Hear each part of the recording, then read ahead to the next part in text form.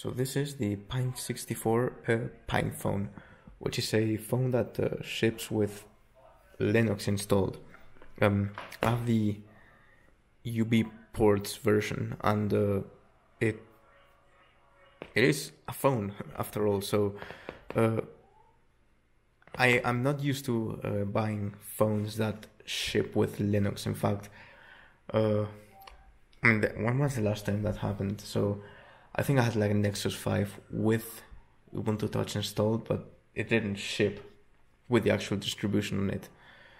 But yeah, this is uh, back, so um, this is now the new thing. So we have Linux on phones.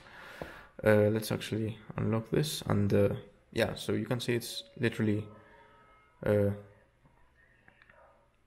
Ubuntu Touch on the. Let me focus. On, on the phone. You have literally all the I mean, apps and the drawer and the uh, drawer as well as um, I don't know. The, I mean, the UI like works and it's snappy, so I guess that's okay. Uh, let me turn on the settings here. System settings. Here we go. Uh, right now it's on dark mode and it's also the uh, I think it's running the development version so let's actually check it. Come on focus. Here we go. Uh, updates. Okay so yeah it's it is uh, running the versions 54 and uh, yeah I've, I've been uh, tinkering with it. And yeah I'm on the development branch all right, so uh, yeah, so how's the how's the battery life? That would be here.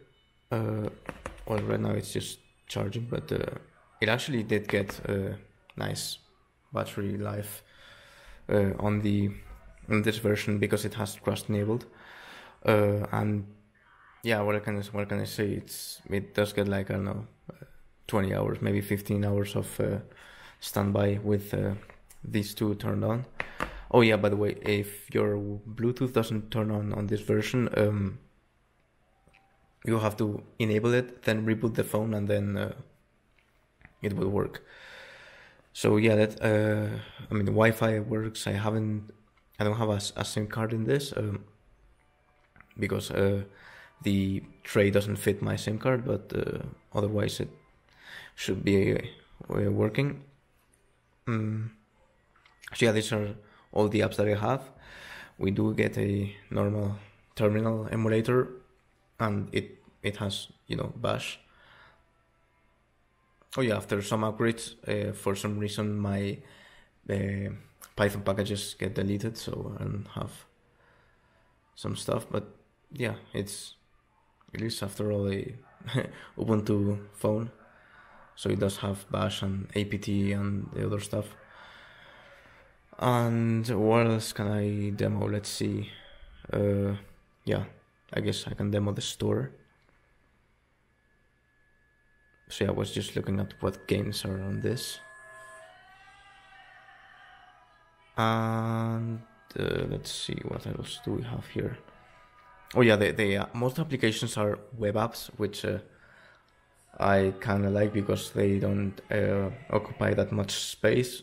But be aware that, of course, being web apps, if you don't have the uh, Wi-Fi enabled, you will not be able to uh, use them because they're a website.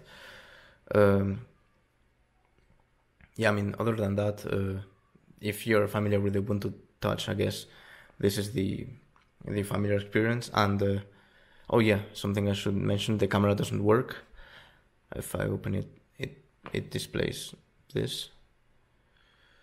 So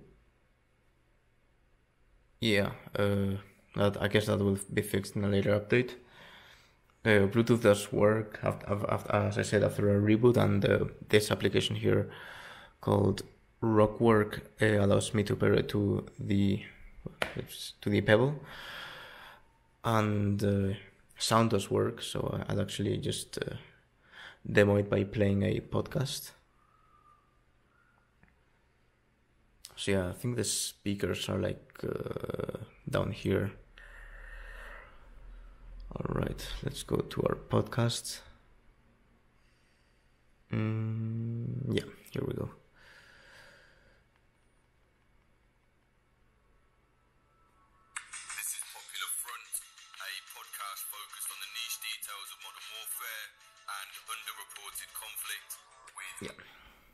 Works. And hmm, yeah, uh, UI wise, it, it doesn't stutter much. The FPS are a bit low, but uh, otherwise, it's manageable. I haven't tried out the microphone as pro should, but yeah, I mean, uh, I also have uh, Fedora on this SD card. I might, I might as well just try it now. Okay, let's see. Let's remove the cover. Oh yeah, big props about this phone. We can remove the cover easily, and we have switches for. Mm, let me focus.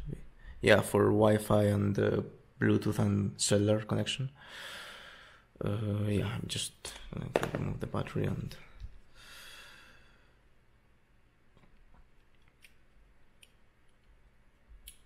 Mm, No, yes, here. Alright, this should work. Mm, yeah, I'm going to turn it on without the case because I want to remove the SD card afterwards and uh, yeah, let's see how it boots up. Oh yeah, I, I, I didn't have Fedora, I had Postmarket OS, but both run on Phosh, which is the UI made by Purism.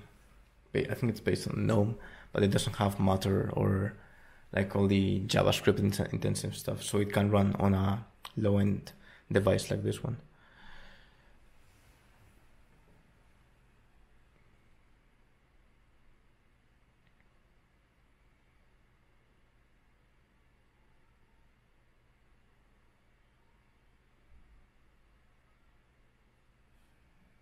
Well, here's uh, here's Phosh on top of Postmarket OS.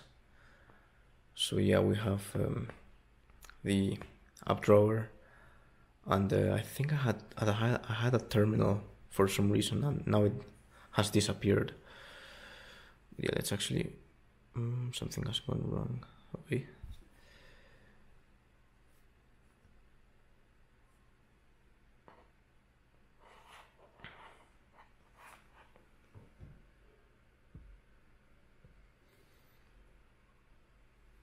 Oh yeah, here's here are the settings. So this one actually runs uh, pretty smooth. Although I kinda want to get the terminal back. Oh yeah, here it is. Opening software. What's this? Hmm. I guess there's no Apple Store, App Store or something for handling that.